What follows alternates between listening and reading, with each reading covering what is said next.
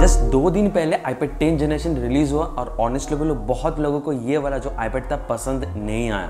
बहुत सारे take reviewer जो था, उनको भी पसंद नहीं आया। और जो नॉर्मल यूज़र थे, जो लोग परचेस करने वाले थे, वो लोग को पसंद नहीं आया क्योंकि कमेंट सेक्शन में आप लोग को जितने भी सारा कमेंट पढ़ रहा हूँ ना मैक्सिमम लोग ऐसा है जो लोग ये डिवाइस को स्किप करना चाहते हैं। क्योंकि वो लोग का जो एक्सपेक्टेशन था, उस लेवल तक जो iPad 10 जनरेशन है, उस हाइप को मैच नहीं कर पाता है। और बहुत लोगों का ये भी कहना है कि iPad 9 जनरेशन अगर आप लोग अभी के टाइम में भी परचेस करते हो ना तो एक बेटर वैल्यू फॉर मनी या फिर एक बेटर प्रोडक्ट हो जाता है अगर हम लोग iPad 10 जनरेशन से कंपेयर करें तो।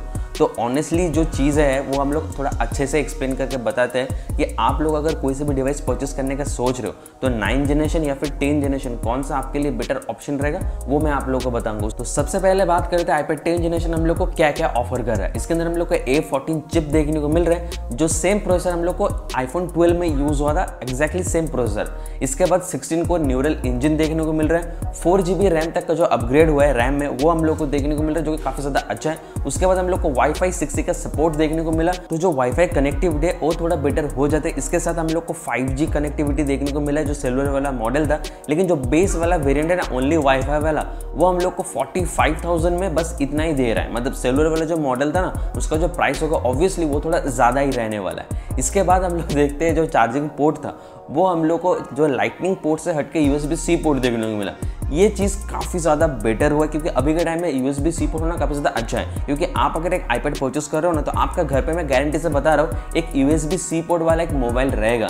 तो एक्जैक्टली आप लोग सेम चार्जर को यूज़ करते हैं, अपना आईपैड को भी चार्ज कर सकते हो। तो ये चीज़ भी काफ़ी ज़्यादा अच्छा बात है। लेकिन जो टच आईडी था, वो हम लोग को जो होम बटन था ना मतलब जो डिस्प्ले के एक्जैक्टली नीचे देखने को मिल रहा था, अभी वो वाला जगह पे और टच आई देखने को नहीं मिल रहा। और ये वाला जो टच आईडी था, ये टोटली हटके हम लोग को दूसरे जगह पे देखने को मिल रहा है। और ये भी चीज़ काफ़ी ज़्यादा अच्छा है। मतलब यहाँ तक कोई सा भी चीज़ खराब नहीं था इस डिवाइस के अंदर।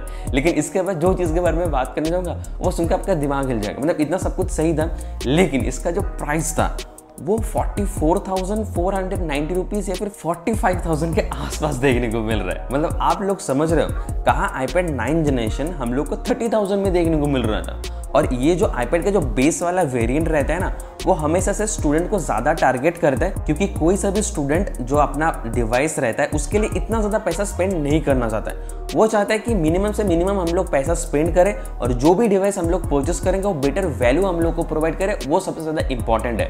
और चाहे वो पेरेंट्स हो, एक हार्डकोर गेमर हो, या फिर एक स्टूडेंट क्यों ना हो जाए, सभी के ऊपर ये चीज़ अप्लाई होता है। इसीलिए जो आईपैड का बेस वाला वेरियंट था, वो इतना ज़्यादा पॉपुलर था, क्योंकि इसका प्राइस रेंज के हिसाब से। थर्टी थाउज़ेंड के हिसाब से जितने भी सब कुछ हम लोग को देखने को मिल रहा था। और ये चीज़ काफ़ी ज़्यादा अच्छा हुआ है कि एप्पल वालों ने जो आईपैड 9 जनरेशन है, उसको ऑफिशियली सेल कर रहा है। इसको डिसकंटिन्यू स्टिल अभी तक नहीं की गया। क्योंकि वो लोगों को भी ये चीज़ पता है कि थर्टी थाउज़ेंड में हम लोग को जो आईपैड 9 जनरेशन देखने को मिल रहा था, वो better value for money product हो जाता है या फिर थर्टी थाउज़ेंड में एक डिवाइस रहना ही चाहिए। क्योंकि ऑनेस्टली फोर्टी फाइव थाउज़ेंड देके आईपैड टेन जनरेशन को परचेस करना बिल्कुल ही वर्थ इट नहीं है और कुछ कुछ लोगों को ऑब्वियसली लग सकता है कि हाँ हम लोग परचेस कर सकते हैं। लेकिन अगर एक बड़ा पर्सपेक्टिव व्यूज़ अगर आप लोग देखोगे ना तो उसी 45,000 के आसपास हम लोग को iPad mini 6 भी देखने को मिल रहा है। और उस प्राइस रेंज में iPad mini 6 better value for money product हो जाता है क्योंकि उसके अंदर हम लोग को A15 चिप देखने को मिल रहा है जो हम लोग को iPhone 13 में यूज़ हुआ था।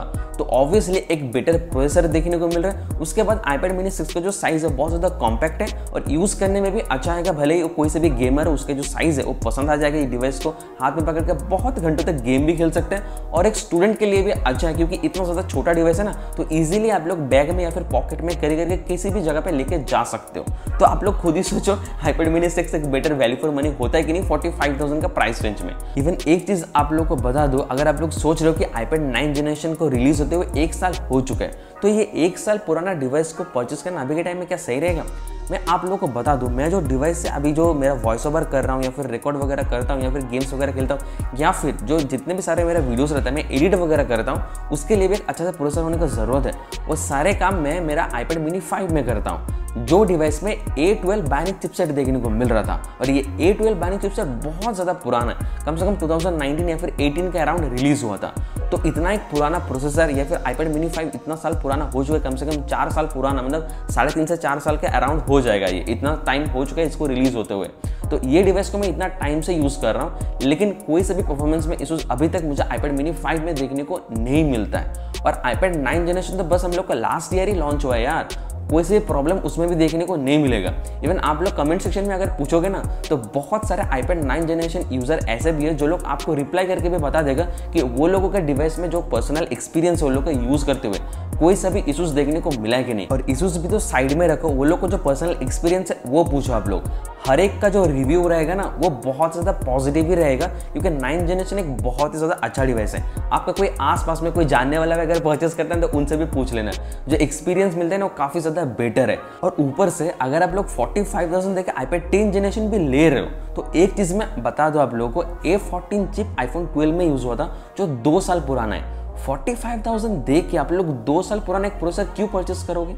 आईपैड मिनी सिक्स में हम लोग को ए फिफ्टीन चिप देखने को मिल रहा है और आईपैड एयर फाइव के अंदर हम लोग को एम वन चिप देखने को मिलता है, जो अभी तक का एप्पल का सबसे ज़्यादा पावरफुल प्रोसेसर था। लेकिन वो बात अलग है कि अभी के टाइम में आईपैड प्रो 22 के अंदर एम टू चिप भी आ चुके लेकिन एम वन चिप को अगर आप लोग अच्छे से देखो ना तो ए फोर्टीन और ए फिफ्टीन चिप से ये काफ़ी ज़्यादा एक पावरफुल एक प्रोसेसर हो जाता है और एक्जैक्टली सेम डिज़ाइन के साथ भी आता है। और आईपैड एयर फाइव का जो ऑफिशियल प्राइस है फिफ्टी फोर थाउज़ेंड लेकिन अमेजोन और फ्लिपकार्ट में अगर आप लोग देखोगे ना तो फिफ्टी थाउज़ेंड प्राइस इसका होते रहता है। तो आप लोग खुद ही सोच के बताओ फोर्टी फाइव थाउज़ेंड पैसा स्पेंड करके आईफोन 12 वाला एक प्रोसेसर जो कि दो साल पुराना प्रोसेसर है ए फोर्टीन चिप वो परचेस करोगे आप? या फिर फोर्टी फाइव थाउज़ेंड में अगर आप लोग सोच रहे हो ना तो और भी बहुत सारे बेटर प्रोसेसर वाला डिवाइस भी है वहाँ पर। या फिर अगर आप लोग को इतना पुराना प्रोसेसर से कोई फ़र्क नहीं पड़ता तो आईपैड नाइन जनरेशन में आप लोग देख लो, उसके अंदर ए थर्टीन चिप देखने को मिलता है परफॉर्मेंस ऑलमोस्ट सेम ही देखने को मिलेगा आईपैड टेन जनरेशन जैसा ही रियल लाइफ में कोई से भी आपको डिफरेंस पता नहीं चलेगा।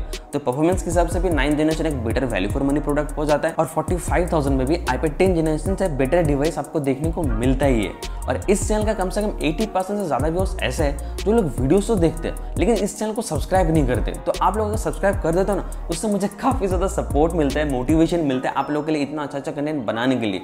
और वीडियो का स्टार्टिंग से कभी भी आप लोग को लाइक या फिर सब्सक्राइब करने नहीं बोलता हूँ, क्योंकि मैं चाहता हूँ वीडियो को आप लोग पूरा देखो एंजॉय करो, और अगर आप लोग को वीडियो अच्छा लगे तो लोग जेन्यून तरीके से इस चैनल को लाइक और सब्सक्राइब करो।